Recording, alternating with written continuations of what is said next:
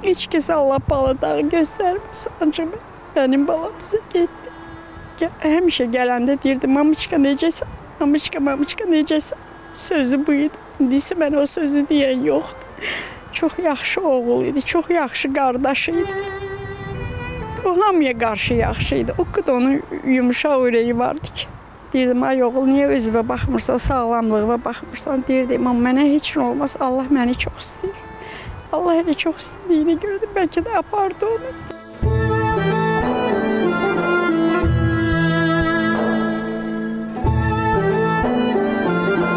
Mənim ömrümü azaldı.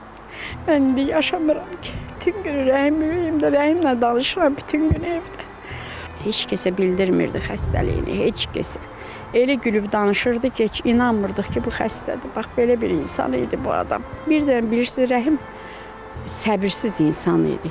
O üç gündən artıq klinikada qala bilmədi, dözə bilmirdi. Belə bir ki, özünə yer tapa bilmirdi. Vaxtı vaxtında dərmanlarını atmırdı. Bir gün atırdı, iki gün atmırdı. Son günü də normal idi.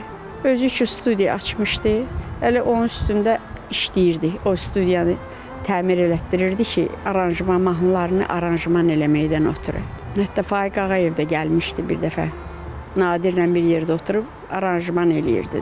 Deyirdi ki, mən 50 yaşından çox yaşamayacağam. Bu heç oğlum 50 yaşına da çatmadı. Pristopu tutdu, təcili yardım gəldi.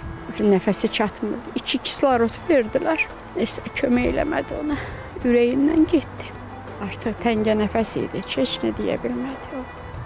Heç inanmıram, rəhim yoxdur. Elə bilirəm, rəhim sağdır. Rəhimin yoxluğunu da öyrəşə bilmirəm.